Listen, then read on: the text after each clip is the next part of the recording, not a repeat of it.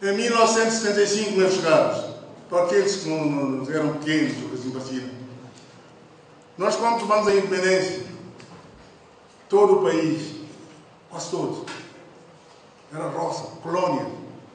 Antes da independência, antes mesmo da independência, eu recebi os representantes das roças.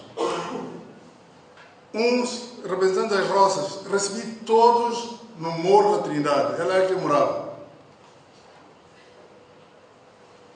Era secretário-geral da MSTP e morava lá.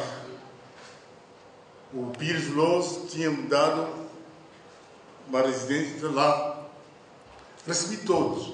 E disse o seguinte: Bom, vamos ter a, a, nossa independência, vamos conquistar a nossa independência, mas não queremos conquistar a nossa independência contra ninguém, nem contra vocês.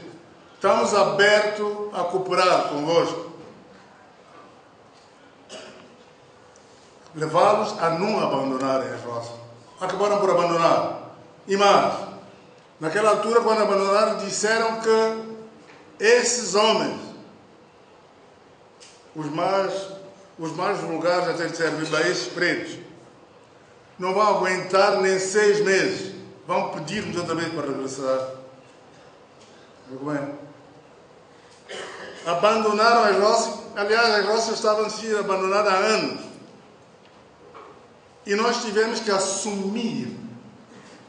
É por essa razão que isso dói quando se ouve dizer, quando se ouve gente dizendo que a, a, a pior coisa que nós fizemos foi. Tivemos que assumir as roças, porque estavam completamente abandonadas. Tivemos que assumir uma coisa que em situações normais o Estado não assumiria.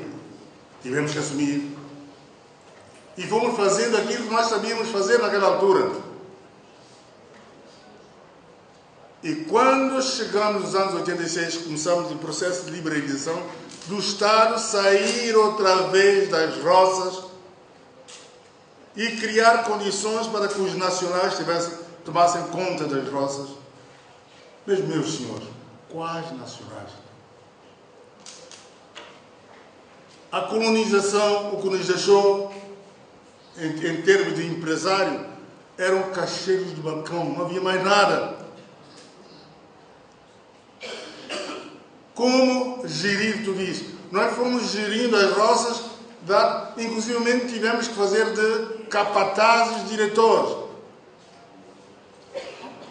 Quadros não tínhamos. Eram os indivíduos que tinham um pouco mais de experiência e eram apoiados, por, apoiados pela administração.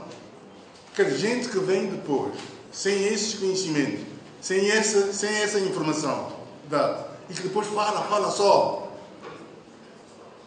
muitas vezes envenenado.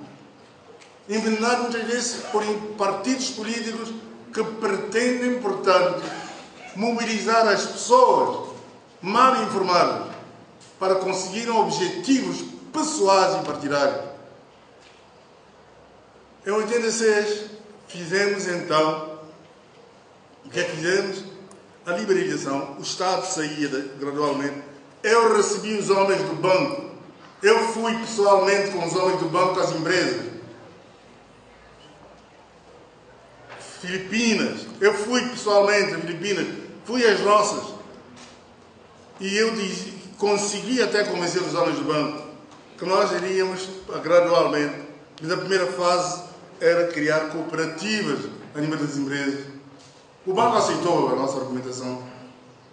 E na altura fizemos mudanças. Dissemos naquela altura, bom, se fazemos mudanças econômicas, naturalmente tínhamos que fazer mudanças políticas. Mudou-se a Constituição, o Presidente da República deixou de ser chefe de governo, criou-se um posto de Primeiro-Ministro, exato, e começamos a preparar as condições para abrir o espaço político em Santo Meio